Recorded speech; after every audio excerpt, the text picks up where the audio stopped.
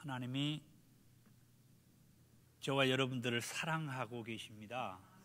예, 그냥 그냥 던지는 그런 빈 말이 아니고 정말 정말 그 하나님, 그 예수님 그리고 그 성령님을 환영하셨으면 합니다. 그리고 그 하나님, 그 예수님, 성령님만 얘기만 하면은 막 눈물이 났으면 합니다. 얼마나 행복해요. 하나님이 얼마나 좋아하겠어요. 너는 나만 보면은 그렇게 좋냐? 그러지 않겠어요? 지금 시계가 제가 안 보, 아, 제가 있네요. 예. 예. 그런데 저 마귀 새끼들이 특히 사명받은 부름받은 주의 종들을 그 가정을 가만 놔두지를 않아요. 그리고 장로님들, 권사님들, 집사님들 예수를 믿음으로 영접하여서 믿음으로 신앙으로 이렇게 기도하면서 말씀 속에서 이렇게 성령으로 살아보겠다고 하는 그런 영혼들을 이 마귀 새끼들이 가만 놔두지를 않아요. 그런데 나 혼자는 감당하기가 너무 힘들어서 왜? 우리 안에는 쓴뿌리, 그 육이 있기 때문에 순간순간 팍 튀어나온단 말이죠. 그래서 넘어지고 넘어지고 마귀 새끼들은 희낙낙거리고 같이 그들이 이겼다고 그럴 때마다 우리는 나를 사랑해서 하나님께서 독생자 예수님을 보내셔 가지고 십자가에서 피 흘려서 죽게 하고 말씀하신 대로 3일 만에 다시 살아나겠다고 말씀한 대로 다시 살아나신 그 예수님을 내가 확신을 해야 돼요. 나는 이 예수를 믿는다. 나는 이 예수님을 내 안에 모셔드렸다. 내가 지금까지 사는 것은 지금까지 내가 버릇없이 푹푹 튀어나왔던 그 못된 몽리 그 감정으로 사는 것이 아니라 죽은 자 가운데서 말씀대로 다시 살아나셨던 그 예수님이 이제는 내 안에 계신다. 그래서 내가 지금 사는 게 아니라 꼬라지 있는 그런 내가 사는 게 아니라 그냥 푹푹 튀어나온 그런 이상옥으로 사는 게 아니라 그런 박난형으로 사는 게 아니라 윤소정 권사님 그런 윤소정 권사로 사는 게 아니고 그런 이유숙 권사로 사는 게 아니고 그런 최고산 목사로 사는 것이 아니라 죽은 자 가운데서 말씀대로 다시 살아나신 그 예수님이 내 안에 산다 이게 그 예수님이 한번 해봐요. 해봐요. 배를 두드리면서 바로 그 예수님이 내 안에 계신다. 바로 그 예수님이 내 안에 살고 있다.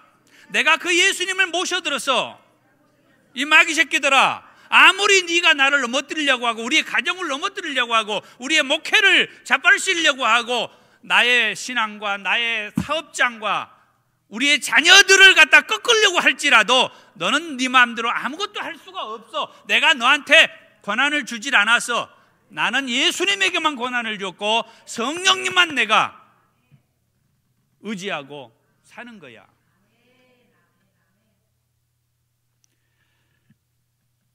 목사님으로부터 출타가 있어서 말씀을 이렇게 전하라는 부탁을 받고 어, 기도를 하면서 자, 무슨 말씀을 어떻게 전해야 되나 그런데 무엇보다도 5월 가정의 달이고 그래서 어, 가정에 대한 말씀을 어, 준비를 해야 되겠다. 사실은 제가 어, 기존 교회에서 목회를 하다가 어, 지금으로부터 목회가 지금 30년이 넘었는데 절반쯤 시절에 개척을 나왔는데 그냥 나온 게 아니고 나름대로 평범하게 목회를 잘 하고 있었는데 하나님께서 개척에 부르심, 콜링이 있었어요. 그게 뭐냐면은 위기의 가정을 세우고 회복하는 사역을 저한테 하라고 하는 거였어요. 시골 교회에서 나름대로 사역을 하고 있었습니다. 그런데 시골은 노령화가 고령화가 되어 가는 그런 추세이고 젊은 사람들 자녀들은 이제 보기가 드문 그런 시기가 되면서 예, 젊고 또 어린 자녀들이 많이 모여 있는 대도시로 불렀다라고 생각하고 나왔어요. 그래서 저는 지금까지 위기의 가정을 세우고 회복하는 게 제 본분이라고 생각하고 거기에만 올인을 해 왔어요. 그런데 사람들이 오질 않아요. 하나님이 성도들을 보내주지를 않고 전도를 해도 뭐 새신자든 어쩌든 보내주지를 않고 오지도 않아요. 그러다가 세월이 다 갔어요. 2008년에 상담을 공부할 기회가 있었는데 그때 1년을 공부를 했어요. 본래는 과정이 일반 여, 여 사적으로는 2주, 3주 해요. 일주일에 한 번씩 해서 두 번, 세 번 공부하면 자격증을 주는데 저는 일주일에 한 번씩 공부를 하는데 3개월 과정으로 해서 한 기술을 공부를 했어요. 그런데 도움이 안 돼요. 그 다음에 또 공부를 했어요. 두 번째로 공부를 했어요. 그래도 아직도 도움이 안 돼요. 무슨 도움이요? 저는 위기의 가정을 세우고 회복하는 사명이 저한테 있다고 했는데 이거 해보니까 상당히 도움을 주겠는데 실질적으로는 제가 몰라요. 그래서 네 과정, 한 과정이 3개월이었으니까 네 과정 12개월, 1년을 공부를 했어요. 물론 중간에 휴식 시간도 있었죠. 1년을 공부하고 나니까 이제 제가 누구를 도와줄 수 있게 되었어요. 그래서 어, 도와주면서 지금까지 오고 있는데 그 후에 이제 누구를 도와줄 수 있다 생각하니까 좋았는데 그때가 제가 결혼한 지 20년 됐을 때요. 그 후에 1년 동안 우리 부부가 20년 싸운 것을 1년에 모아서 싸운 것처럼 그렇게 싸웠어요. 20년 동안도 너무 힘들게 살았는데 1년을 공부를 하고 누구를 도와주겠다. 이제는 누구를 도와줄 만한 자격이 되었고 이제 준비가 되었다 생각을 했는데 우리 부부가 20년 동안 싸운 것을 1년에 모아서 싸운 것처럼 엄청나게 싸운 거예요. 하여튼 돌아서서 돌아서도 뭐라 하고 앞으로 와도 뭐라 하고 뒤로 가도 뭐라 하고 앉아도 뭐라 하고 일어서도 뭐라 하고 누워도 뭐라 하고 책 봐도 뭐라 하고 기도해도 뭐라 하고 하여튼 꼭 그런 것 같아요. 저도 그랬고 하물며 우리 자녀들이 그랬어요. 오늘은 간증 설교를 하나님이 하라고 해서 예, 가정의 달도 되고 어, 누구 얘기하겠어요? 어, 또 제가 가정 사역을 하겠다고 했고 저의 얘기가 샘플이에요, 샘플. 예. 그래서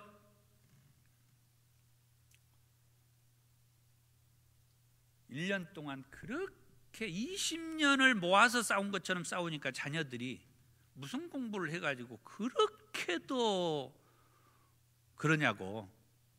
이런 말이 나온 거예요 자녀들에게서. 20년 동안 싸울 때에는 이런 얘기는 없었어요. 그런데 1년에 20년 싸운 것을 모아서 싸웠다고 느껴지니까 아, 얘들을 통해서도 이런 얘기를 듣게 하는구나. 하나님께서 1년쯤 계속 저는 강단에서 기도를 했어요. 왜? 하나님이 저를 가정을 세우고 회복하는 사역자로 불렀다고 했는데 그동안에는 이 사역을 하겠다고 준비가 됐다라고 생각을 했는데 다른 사람을 조금씩은 도와줬어요. 한두 번씩은. 그런데 이게 활성화는 되지 않고 우리 부부가 막 부딪히는 것이 아까 얘기한 대로 20년을 한 번에 모아서 막 부딪힌 것처럼 왜 이러지 왜 이러지 하나님이 이렇습니까? 위기의 가정을 세우고 회복하는 일을 해서 저를 불렀다고 했는데 너를 쓰겠다고 했다는데 아니 이게 뭡니까? 이렇게 힘들어서야 1년쯤에요. 에? 1년쯤에 하나님의 음성을 들었어요. 그동안 고생했다. 좀 하나님께서 제게 주신 말씀이지만 여러분도 좀 위로 좀 해주세요. 어, 여러분 그런 그 힘든 과정이 없으셨나 봐요. 예. 내 종아 그동안 참 고생이 많았다. 그러면서 성경 한번 찾아주실까요? 잠언 14장 4절 앞에 있습니다. 같이 한번 읽어보죠. 소가 없으면 구유는 깨끗하려니와 소의 힘으로 얻는 것이 많으니라. 다시 한번요. 소가 없으면 구유는 깨끗하려니와 소의 힘으로 얻는 것이 많으니라. 하나님 말씀을 딱 주는 거예요. 이 말이 무슨 말씀인지 어느 정도 공감하죠? 대부분 나이 드신 분들이고 그래서 아, 소를 외양간에 이렇게 가다 가지고 어? 이렇게 키워 봤던 그런 적이 있어요. 아 띄워 주세요. 성경 띄워 주세요. 자, 여기에서 소 소를 여러분의 배우자의 이름을 넣은 거예요. 네. 배우자의 이름. 자, 그렇게 하고 읽습니다. 천천히요. 시작. 방난영이가 없으면 구유는 깨끗하려니와 방난영이의 힘으로 얻는 것이 많으니라. 다시 한번요. 방난 다시 한번요. 시작. 박난영이가 없으면 구유는 깨끗하려니와 박난영이의 힘으로 얻는 것이 많으니라. 띄워놓으세요. 성경 띄워놓으세요.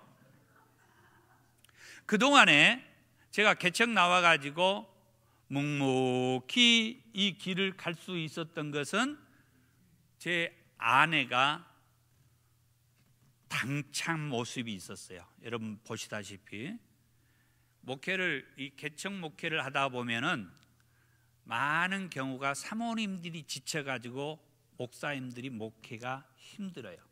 그래가지고 그냥 접어보는 경우도 많아요. 그런데 저는 딱 보니까 제 아내를 보니까 아주 당찬 모습이 있어요. 저보다 훨씬 있어요. 그래서 됐다.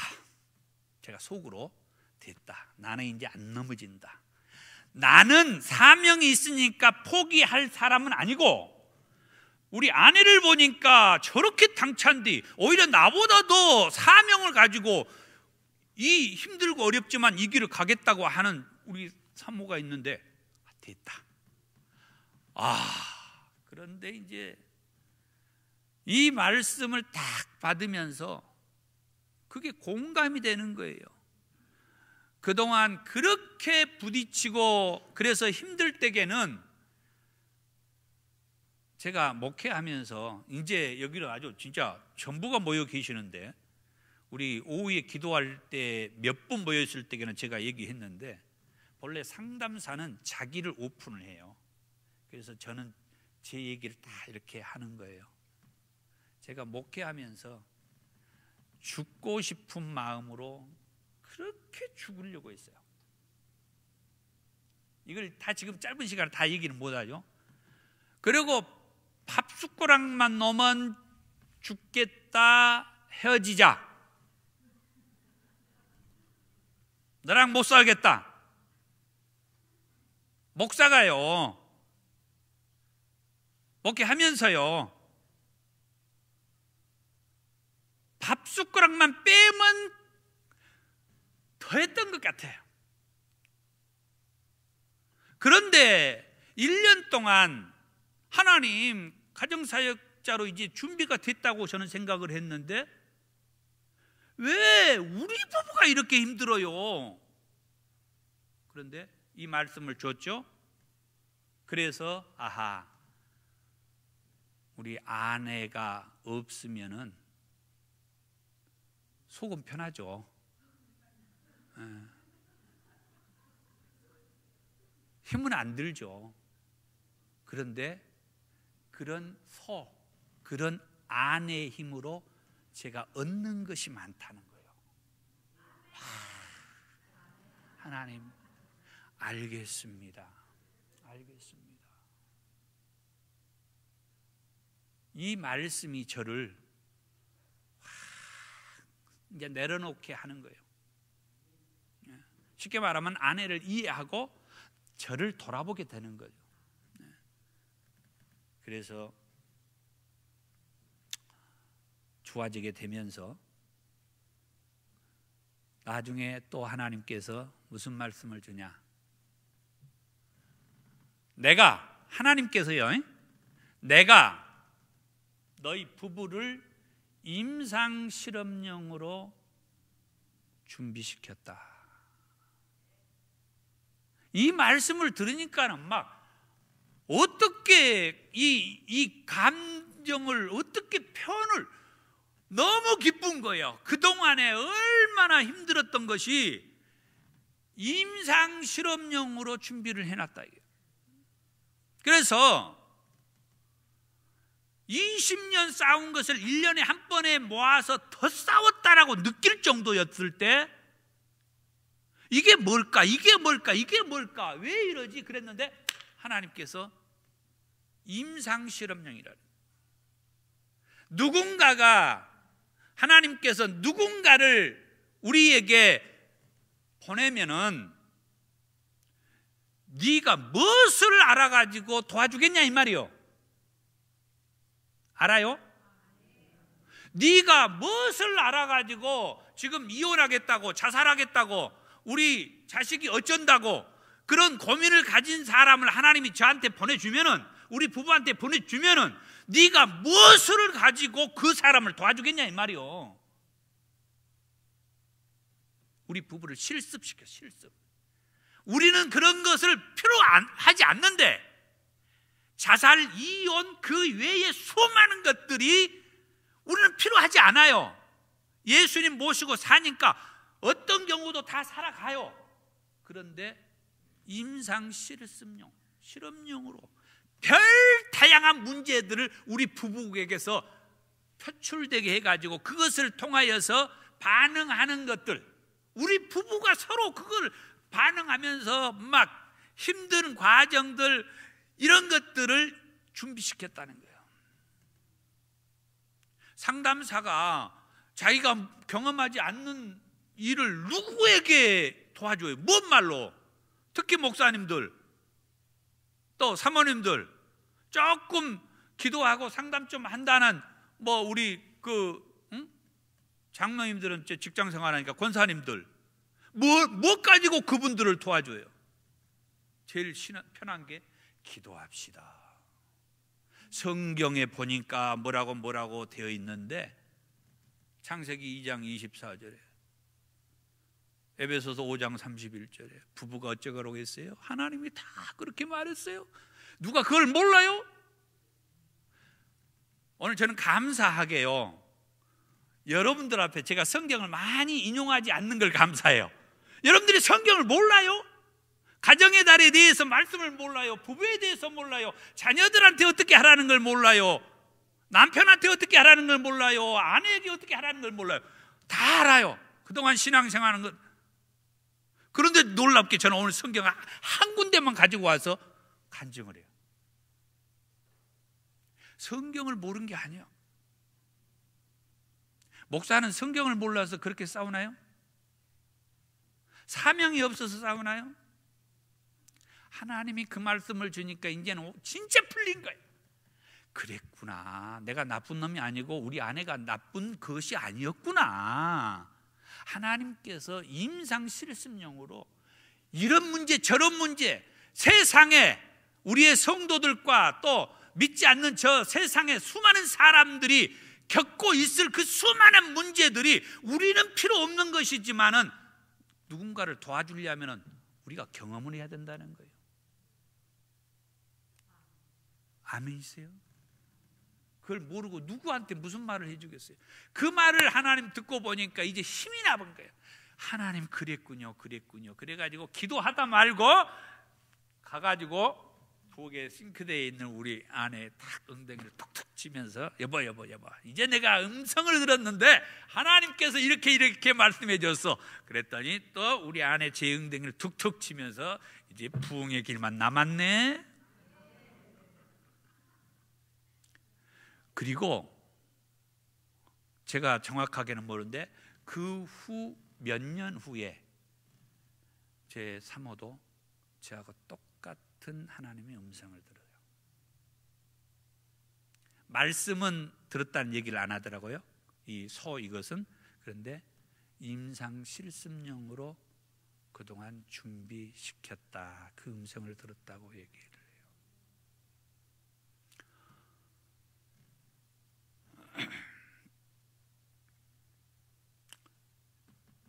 가정의 달을 맞아서 저는 그 이 스마트폰 거기에 그 뭐죠? 그 멤버십인가요? 그걸로 한 달에 영화 한 편을 무료로 보는데 우리 부부가 늘 같이 그렇게 해서 영화를 무료로 봐요. 이번에도 어 저번에 6일 날 월요일 날 음, 뭐죠? 영화 천국이 에, 어디가 있냐?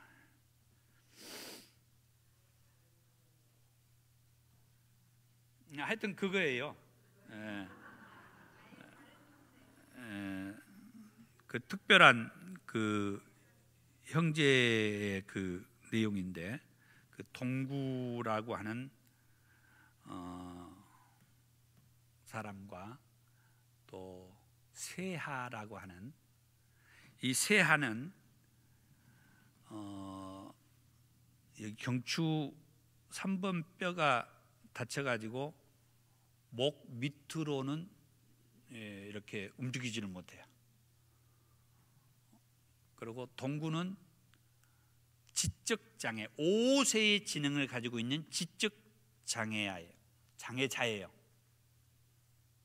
쉽게 말하면은 그런데 이 두 장애자들이 서로 서로를 도움을 주면서 살아가는 그런 이야기. 저는 영화를 보면서도 항상 울어요. 우리 옆에서 아예 화장지를 준비하고 있다가 주어요. 이 시점에는 눈물이 나올 거다. 그리고 가정의 달 이 설교를 제가 오늘 하겠다 생각하면서 우리 딸이 설교하지 마라 그래. 이거 이 영화 가지고. 그런데 인터넷에서 보니까 저보다도 더 구체적으로 이 영화의 줄거리 내용들이 다 올라와 있어서 예, 설교를 하기로 했어요. 이 영화 메시지는 뭐냐? 서로 다른 환경의 장애자들이 서로에게 의지가 된다는 거예요. 목 밑으로는 움직이지 못하는 새하. 힐체에 앉아가지고 5세의 지능을 가진 동구의 손길이 아니면 어디를 오도 가도 못해. 반대로 5세의 지능을 가진 동구 역시 목 밑으로는 꼼짝하지 못하지만은 머리가 똑똑한 새하가 동구의 다양한 일 문제들을 도와줘요. 이제 어느 정도 정리하고 맺겠습니다. 부부란 세하와 동구와 같이 서로 다른 모습을 가지고 살아가요.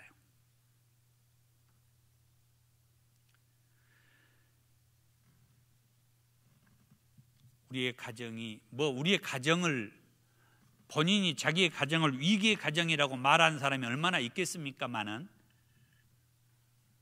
저 밖에 있는 사람들은 자기의 가정을 위기의 가정이라고 생각하고 있어요. 저처럼 무슨 건떡수로 그냥 어디로 가버릴까? 또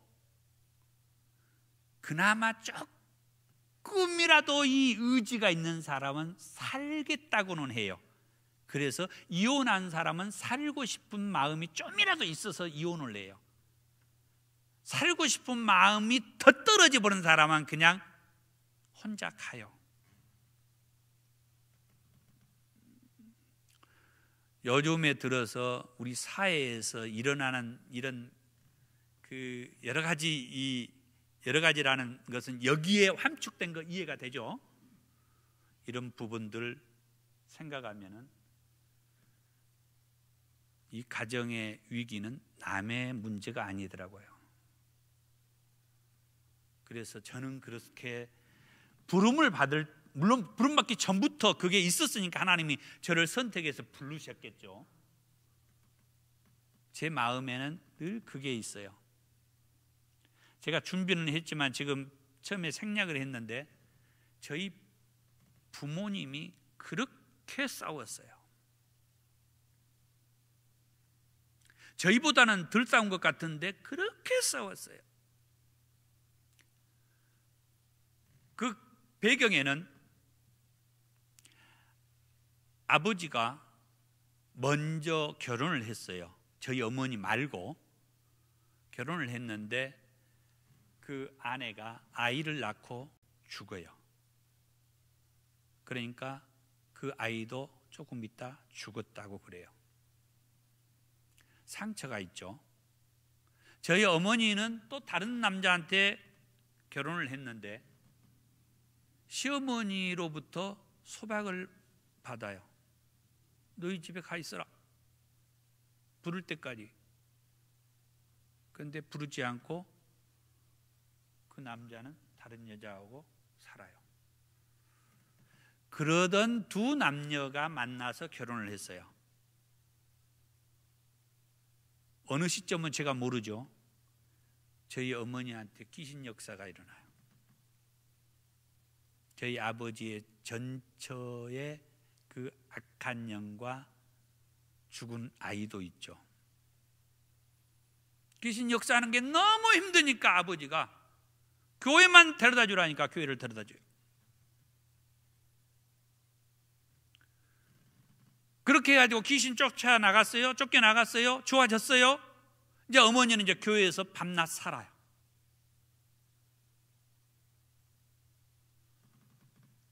예수님이 자기를 이렇게 치유해 주었다고 생각하니까 그 예수님이 얼마나 좋았겠어요. 쉽게 말하면 예수님이 신랑이 된 거예요. 물론 그것도 있지만 저희 어머니가 무슨 상처가 있어요? 소박 받았어. 한 남자로부터. 물론 그것은 시어머니가 계기인데 그래서 저희 어머니에게는 심리적으로 뭐가 있어요? 세상 남자를 믿지 못하는 게 있어요. 저희 아버지를 그래서 믿지를 못해요. 그 심리가 있다는 거예요. 상처, 상처라고 하는 것은 그런 게 작용을 한다는 거예요. 저는 상담을 하다 보니까 지금도 이것을 다 이제 깨뚫게 되는 거예요. 사람은 없어도 상황만 봐도 그게 깨뚫어져요. 아하, 그랬구나. 어머니가 그랬구나. 그런데 아버지에게는 전처가 아이를 낳다 죽었잖아요. 어떻든 우리 아버지도 참 착하고 성실하고 온유하고 좋으신 분이에요. 그래서 마누라한테 잘해줘야지. 마누라가 일찍 가니까 그 속이 아니대. 그런 마음이 있는 거예요. 마누라한테 잘해주고 싶어. 그런데 지금 같이 사는 마누라는 예수가 자기 신랑 돼버렸어. 우리 어머니가 아버지가 싫어서가 아니에요. 10 심리가 그런다는 거예요. 그게 이제 지속되다 보니까 아버지가 못 견딘 거야. 잠자리를 해야 되는데 밤낮 교회에서 살아버리니 나는 너를 생각해주고 싶은데 그 너가 집에 없으니 그러니까는 교회가 갖고 난리를 치는 거야. 전에는 그걸 안 했는데 자기 집에 그 머리 긴 사람이 이제 예수한테 미쳐갖고 교회에 빠져갖고 그러니까 우리는 그걸 아버지가 정말 믿음 없고 시험 들었고 마귀가 들어왔고 별 얘기를 다 하죠. 심리적으로 보면은 진짜 아버지를 이해해야 돼요.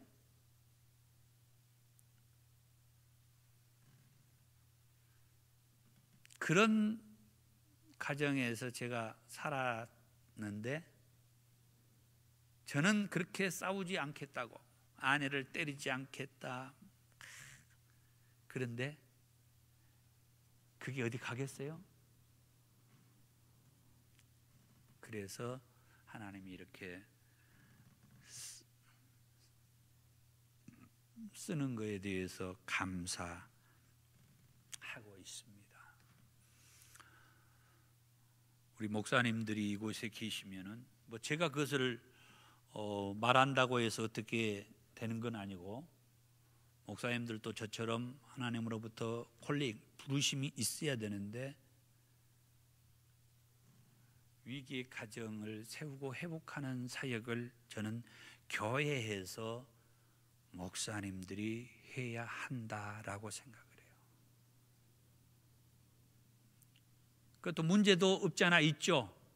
내 가정사의 문제를 목사님과 사모님이 알면은 얼마 못 버티고 다른 교회로 가요. 그것은 제대로 치유를 받지 못한 사람들이에요. 제대로 치유를 받은 사람은 목사님, 사모님을 보는 게 아니고 예수님을 봐야 돼요. 예수님이 나를 이렇게 구원해 주셨고 예수님께서 우리의 가정의 힘든 상황을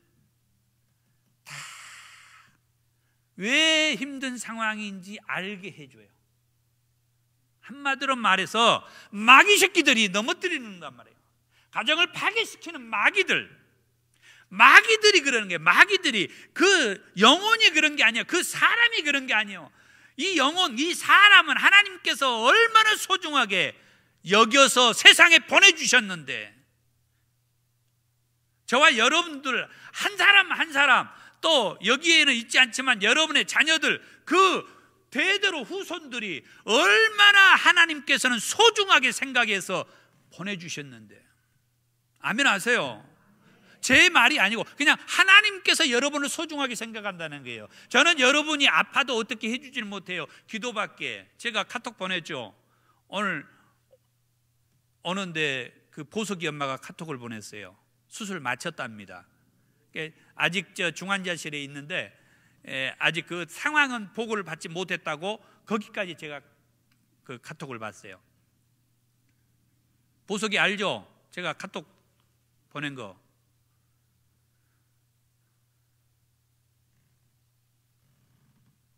우리는 감정적으로 부딪히고 충돌하는 그런 가정의 이기도 이기지만은 배우자나 또 이 보석이 엄마처럼 내 자녀가 수술을 해도 가망성이 별로 없다는 의사 선생님한테 말씀을 들었을 때 이 보석이 엄마 그래도 뭐예요? 수술을 하잖아요. 지금까지 크고 작은 수술을 60여 차례 했다고 하는데도 그래도 지금 이 수술을 36시간에서 48시간을 한다는 이 수술을 그래도 어머니는 하고 싶은 거예요. 피가 섞인 내 형제, 자식이기 때문이죠.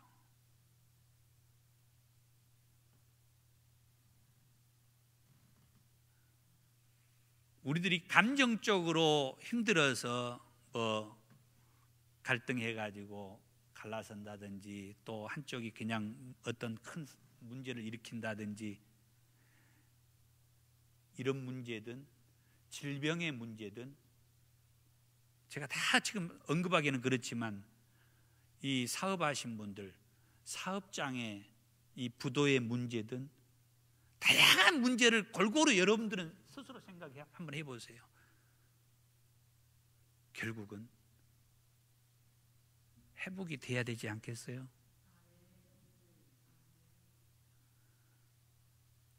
거기에서 딱 하나는 가정은 지켜져야 된다는 거예요.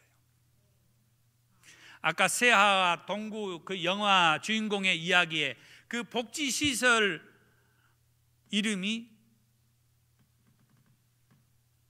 갑자기 생각 안 나네. 예? 뭐? 책임의 집, 책임의 집.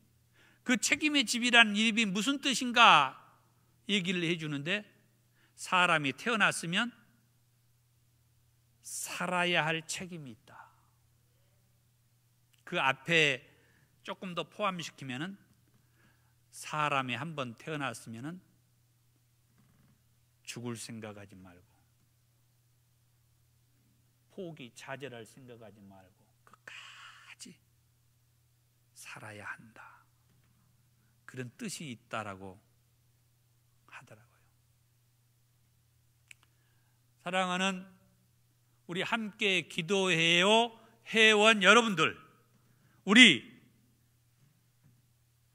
하나님께서 저와 여러분들을 소중하게 생각해서 이 땅에 보내셨고 또 각자에게는 하나님의 콜릭, 부르심이 있는데 괜히 그 엉뚱한 데에다가 관심 두어가지고 기분 상하지 말고 하나님께서는 이렇게 어마어마한 일들 자기 아들을 보내가지고 나만을 위해서 죽게 하고 오직 그 아들이 나만을 위해서 일하고 계시고. 그래서 제가 결혼한 것도 혼자 지내는 것이 애로울 것 같아서 하나님이 필요한 돕는 자를 보내준다고 우리 아내한테 얘기했더니 우리 아내가 그 말에 속아갖고 저하고 결혼을 했어요. 돕는 여러분의 배우자들을 하나님이 붙여주셨어요. 그런데 뭐가 막 한다고 그것만 보지 말고 왜 하나님이 우리의 가정에 나에게 또는 우리의 자녀들에게 이렇게 힘든 문제들을 주시나? 여러분들은 작은 문제겠지만 그것 역시 뭐라고요? 하나님이 여러분들을 누군가를 도와줄 임상 실험용으로 그 문제를 여러분 가정, 여러분 부부에, 부부에게 그 문제 네가 한번 풀어봐라. 그 문제 풀면은 너 구역의 누구 문제도 네가 한번 도와줄 수 있니? 아멘. 오늘 메시지는 이것과 그리고 한 가지 우리가 이 오전에 나라와 민족을 위한 기도를 하고 한국 교회의 회복을 위한 기도를 하죠. 중요합니다. 나라가 없으면 교회가 그게 무슨 의미가 있어요? 반대로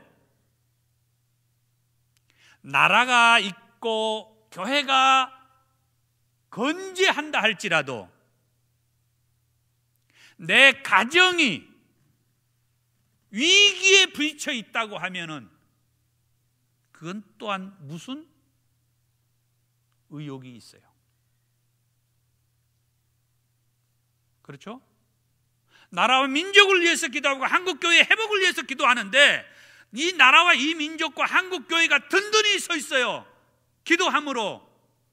그런데 내 가정이 위기라고 하면은 속된 말로 말해서 누구 좋은 일 시키는 거예요? 지금도 끊임없이 우리 주변에서는 자살자들이 나오고 있어요. 제가 상담 일을 하고 있는데 뭐라고는 다 말하지 않겠어요. 저번에 주일날 오후에 상담을 하는데 어떤 분이 동성애자요. 동성애자가 자기의 고충을 얘기를 하는데 함부로 상담사한테도 오픈 안 합니다. 그런데 저한테는 쭉 오픈하대요. 선생님한테는 아, 어쩐지 모르게 얘기를 하고 싶다고. 하나님이 저를 준비시켜 놨잖아요.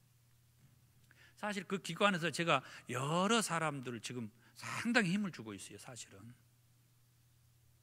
와, 제가 그 얘기를 그 사람의 그 동성애자가 자기 고충을 얘기하는 걸 듣는 순간에 고민이 생긴 거예요.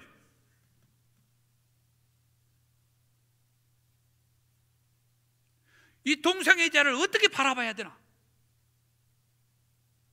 다 죄의식을 가지고 동성애자를 볼 수가 없어졌어요. 그들도 그들의 고충이 있더라고.